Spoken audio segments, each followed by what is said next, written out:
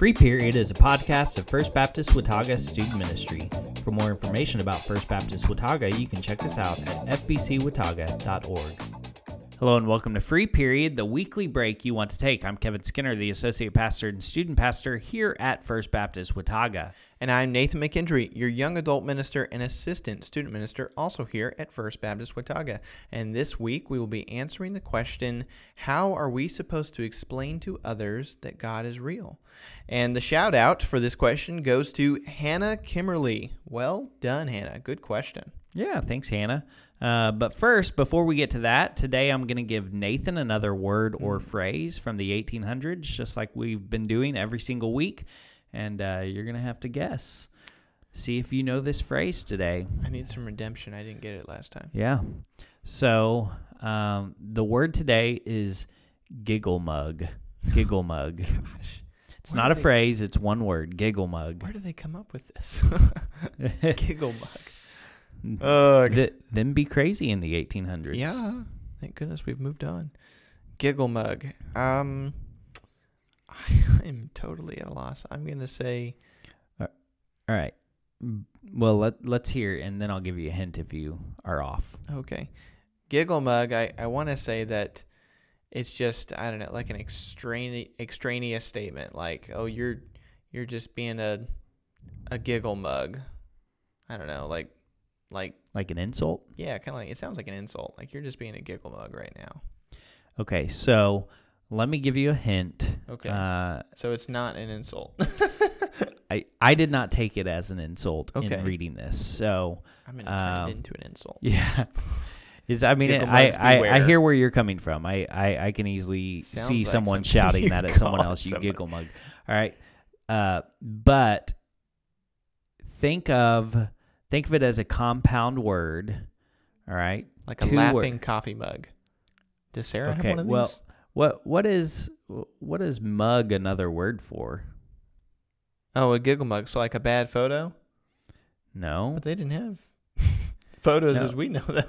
right, but I mean what what what is a mug? So someone that's just laughing is that what it is? Like a mug is like a face, like a mug shot.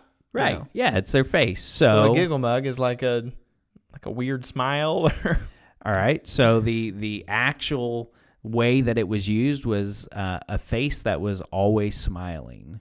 oh, so, So, it's some someone that was always smiling was like a giggle mug. okay. So you can still say the statement, "Oh, you're just a giggle mug," but it's Yeah, I mean, I think It's really the- at least the insult. the way that it was worded is not necessarily a, about the person, but specifically about the face. So I don't think you would Right. say that you are a giggle mug. I think that you would say that you have a giggle oh, mug. you're wearing a giggle mug. like your face is just always smiling. okay.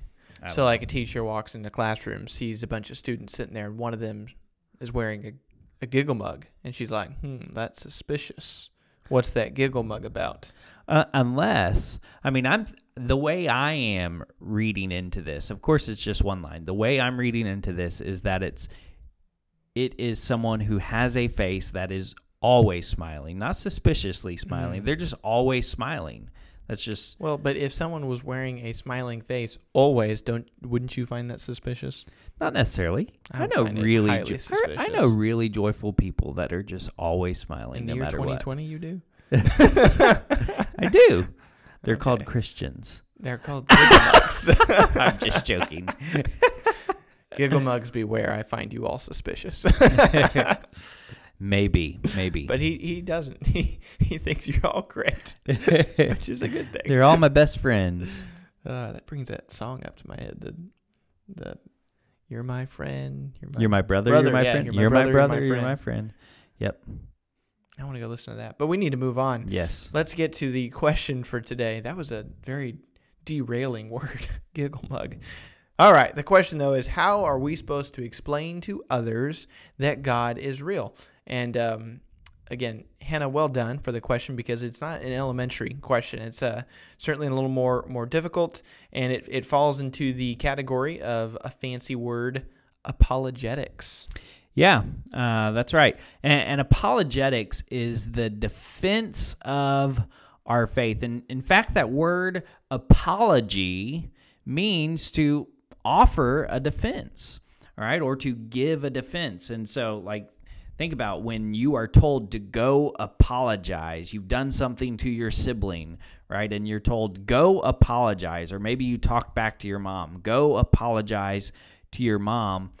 Ultimately, when you apologize, you are offering a defense for yourself. But of course, many times our apology is, I have no defense for myself. I, I was wrong. My defense is, I was completely wrong please forgive me, right? And and many times we can just sum up that statement into two words. I'm sorry, right? And so that's kind of how we get from this word apology of offering a defense to those two words of I'm sorry, all right? But that word uh, apologize means to offer a defense. Yeah, perfect. And and of course, when it comes to apologetics, understand that there are many many books uh, written on this. Um, and where I have certainly not read all of them, there is one that I will go ahead and, and recommend you. Um, this right here, if, if you're watching, but if, if you're listening, it's called Living Loud Defending Your Faith by Norman Geisler and Joseph Holden. Um, it is certainly not the end all be all for apologetics, but as a high schooler, I found it a, a good introduction, I think, to some of the, the fundamental questions and arguments. Um, certainly a good starting point. Um, but we we're not going to address everything that's mm-hmm. said, and and our conversation really doesn't pertain just to that book, but uh, we will address a couple of arguments for the uh, specifically the existence of God, which is kind of a branch inside of apologetics. So, what's the first argument that we're going to discuss today, Kevin? Yeah. So, the first argument that we want to offer to you, Hannah, is the argument known as the design argument or the argument for intelligent design. And I talked a little bit about this several weeks ago, back when I was in our student Stupid Is as Stupid Does series on Wednesday nights. So, with this argument, we, we look at a simple truth that I discussed uh, several weeks ago, a simple truth that we see at work throughout the world, which is that every creation has a creator. Every creation has a creator, or every design has a designer. And, and we could look at and, and discuss a couple of examples, right? First, we could look at a car, right? Most people have cars. And if you go out and you look at your car, you will see that your car is a very complex thing. You lift up the hood, right? There's there's just a lot that goes into the inner workings of your engine in that car, right? Or if you look under the car, you see all of the pipes and all of the lines running. Uh, there's a lot just going on under there, and and how the wheels are perfectly attached to the car, and and then you open up the car, and uh, man, look at the interior right? All, all of the, the seats have been sewn together, whether it's leather, whether it's cloth, uh, or you've got carpet on the floors, and you've got a radio or uh, a GPS, right? All of this computer work in, in more modern day cars. So we look at a car and, and we say, man, it, it would be absurd to think that this car just poof, just just out of thin air just came into being, right? No, we look at a car and we say clearly there has to be a creator, a designer of this car, right? And, and, the same could be said for buildings, which is a specific example that I gave uh, several weeks ago. As we look at buildings, right? We, whether it's a tall building, a small building, right? As we look at buildings, right, it's got a foundation that that the building sits on, and and the the outside of the building may be elaborate. Uh, and then you go inside, and there's multiple rooms, right? You have bathrooms, you have large rooms, you have small rooms, you have meeting rooms. Uh, if it's your house, right, you've got a living room, you've got a bedroom, You've got a kitchen, right? All of this strategically designed for the purpose of your house or for the purpose of this building. Uh, all of it strategically designed, right? And so as we look at a building, just like looking at a car, we we look at a building and we would say, man, it would be absolutely foolish to think that this building just out of thin air just came into being, right? No, we know that that there was an architect that drew up designs and then there were builders carpenters there there were people that that worked together to build this house or build this building.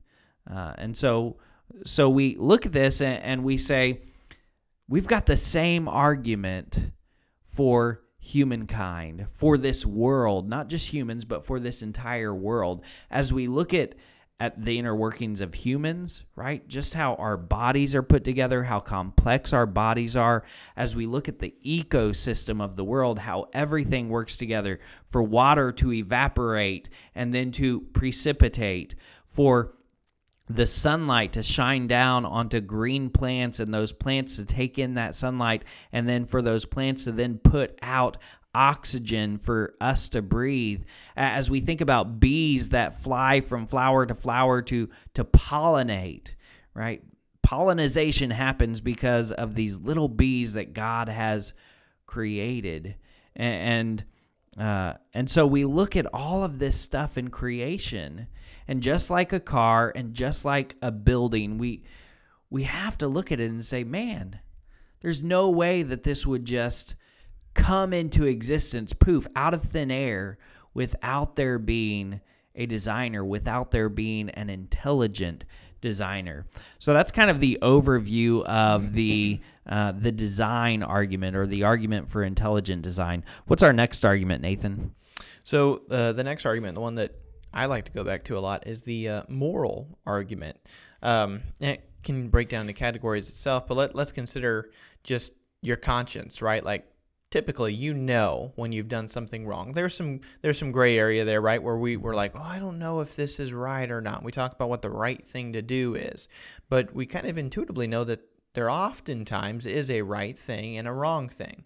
Now, again, that's not a blanket statement, but uh, for instance, you you are aware murder is wrong, and, and, even if we examine other cultures and we just look in a, in a very broad general sense, nine times out of ten, murder is generally seen as a bad thing. The vast majority of cultures would say that murder is bad, right? And, and, that understanding that something can be bad or good, that that's our ethics, right? That's that's our morals. And morals don't just poof arise like they have to come from somewhere there has to be a moral lawgiver if, if there are truly moral laws and so you know my argument for existence of God based on that is, you know, if, if we didn't have God, where our ethics really have have almost no reason to exist. Um, so I, I, would argue that our ethics are kind of a a a good starting point for a reason that God must exist. Um, now, certainly, that's a very shortened, specific, uh, concise argument that could be discussed so broadly as something to be talked about with Matthew over coffee, not not not fully in a podcast that's only 15 to 20 minutes. But uh, I think that that's a good starting point. But what are so those are the two main arguments. What what else do we have? Yeah. So if you are a believer, uh, if you have given your life to Jesus Christ already, uh, then you have your personal testimony. Yes, yes, absolutely. Your testimony is your personal experience with God, and and so you can share, you know, from from your own experience, how you have experienced the existence of God, and so that's. I have found it important in my life when I experience certain moments where I'm like, oh man, God was so present. Look what he did, you know? And you might be tempted to call that coincidence. Dennis has talked about this multiple times from the pulpit. He's mm-hmm. tempted sometimes to call these things coincidences, but when they happen over and over and over again in your life, you, you realize that they can't really be coincidences, you know? And so I encourage you to write those down. Write down when, when you feel God's presence or God's come through for you because you can share that. And those are encouraging things for other Christians to hear. And they're a really good testimony to show others look, I've seen God exist in my life, right? And so your faith becomes more personal, more more real. Absolutely. So. Yeah, and, and so with that, even if you have not had, you know, for for those of you that are younger, right, you're students, uh, so so you have not had experienced as much life. So so maybe you don't have tons of moments that you've just seen God, but uh, but you have given your life to the Lord. And so, just at the very basic level, if you have given your life to Christ, you have experienced God through Jesus Christ. You have read his word, heard his word, and then seen God at work in your life as you came out of your sins and into salvation. And so, just at a basic level, you have that testimony of God at work in your life. And so, and, then just as Nathan is saying, as you continue to go through life, you you can continue to see God's hand at work in your life, uh, continuing to build upon your personal testimony, uh, your personal experience with the existence, the reality of God. So, Hannah, thank you so much for this question. Nathan and I, we really do appreciate uh, this question, and and I know that we we were not able to spend just a ton of time uh, answering this very deep question, and so that's why Nathan pointed you to uh, that book. Uh, but there are many great books out there. There are also many great apologetic speakers out there that you can look up on YouTube, like Ravi Zacharias. Uh, and, and, so you can learn from some of these others that have uh, kind of based their life on uh, this study of apologetics. Uh, we even know of a well, the, another name that comes to mind first of all, Josh McDowell uh, has written on apologetics, and then I believe John Biles, just a FBC Watauga member. I think he studied it extensively. Absolutely, so, and he's not the only FBC Watauga member to have studied it. So ask around the church; you might find some people who are uh, heavily interested in this particular branch. Yeah. So, so let me also just offer you a little bit of peace, Hannah. If you have a friend that does not believe in God, understand. You can share these arguments with them. Uh, you can talk about uh, the existence of God with them and, and and and share these things to maybe help them understand why you believe in the existence of God. Uh, but ultimately, God will be the one that has to be at work in their life to uh, to reveal Himself to them. And so, uh, my biggest encouragement to you, you absolutely want to share, right? But my biggest encouragement to you is to pray for them just begin committing to pray for them that God would reveal himself to them, that he would use your conversations with them, that he would use uh, even these apologetics arguments uh, that you that you share with them, that he would use those things. But but the biggest thing is pray for them that God would reveal himself to them in their own lives. All right. So that's it for this week's episode of Free Period. Join us again next week as we answer the question who has the best french fries? Bye. I hope that you enjoyed today's podcast, and I'd love to meet you in person. If you're a student between 7th and 12th grade, you can join us on Wednesday nights for midweek at First Baptist Watauga. You can also join us on Sunday mornings at 9:30 a.m. for growth groups and 10:50 a.m. for worship.